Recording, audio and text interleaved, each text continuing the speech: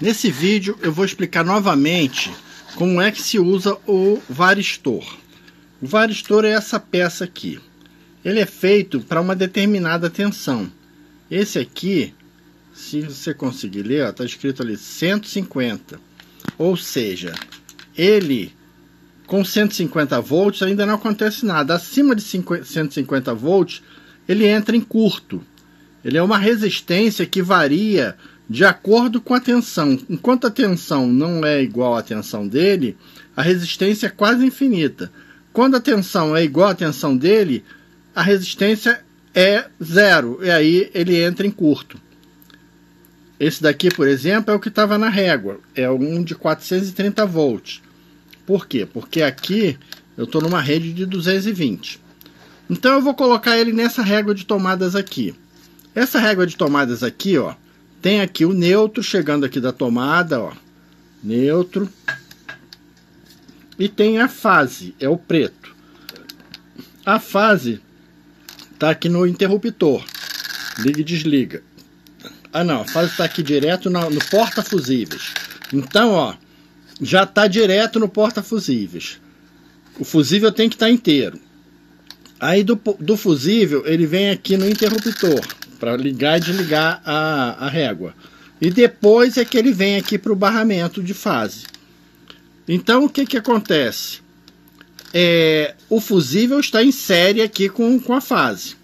Se eu colocar uma peça aqui como essa, um varistor, em paralelo com a fase neutro, o que, que vai acontecer? Se a tensão passar de 150 volts, se eu ligar essa régua, por exemplo, numa rede de 220 volts, ou se você tem essa régua aqui num lugar onde é, é 127 volts, você tem um monte de equipamento ligado aqui de 127 volts, e de repente a tensão da rede sobe, esse varistor vai entrar em curto. Vai entrar em curto e vai botar em curto aqui, ó, fase neutro, e vai queimar o fusível. Então é para isso que serve o varistor, para proteger teus equipamentos de surtos de tensão alta. Então eu vou colocar esse varistor aqui de 150 volts e vou ligar essa régua em, em 220 para a gente ver esse negócio acontecer. Liguei a régua de tomadas aqui no transformador e tá saída aqui de 119,6, quase 120 volts. Agora vou tirar essa esse pino ali do transformador e vou ligar ele direto aqui no 220 para a gente ver o que, que acontece com o varistor. Vamos ver, principalmente prestar atenção no varistor e no voltímetro. Vamos ligar a régua de tomada agora em 220 volts para ver o que, que acontece.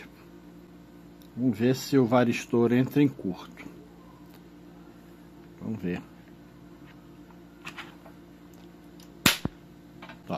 Estourou. Deu? E assim é que ele protege o teu equipamento. Ele estourou, entrou em curto e queimou o fusível. Aí parou. Então, como você pode perceber, com o primeiro teste que eu fiz, no primeiro vídeo que eu fiz, chegou a 200 e e poucos volts, demorou pra caramba pra, pra chegar a essa tensão. E muita gente falou: ah, esse troço não protege nada, porque do jeito que tá, você já teria queimado o equipamento. Não, ele age muito rápido. É que eu, demo, eu fui ajustando com o variac, buscando a tensão que ele ia estourar.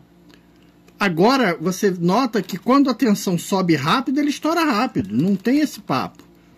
E aí protege mesmo. Esse tempo que ele levou entre a hora que eu liguei a, a régua de tomada e a, você vê que o voltímetro nem não teve tempo de medir. O voltímetro tentou medir, o, varia, o, o, o varistor já tinha estourado. Por quê? Porque ele, ele é bem rápido. Esse tempo que levou aqui não é suficiente para queimar um equipamento eletrônico. Não, não dá para queimar. Com certeza não queima. Então é isso daí. Fica aí mais uma dica. O, var, o varistor é um, um, componente que vale a pena você colocar no, na, na entrada, desde que você tenha fusível, não é? Na entrada dos seus equipamentos eletrônicos ou réguas de tomada. Agora você tem que prestar atenção na tensão do varistor, né? Se você vai ligar numa, numa rede de 220, bota um varistor como esse aqui, de 150 volts. Se vai ligar numa rede, se você de 127 no caso, se você vai ligar numa rede de 220 volts, você tem que botar um varistor acima de 300 volts. Um abraço aí para todo mundo, fiquem com Deus e até o próximo vídeo.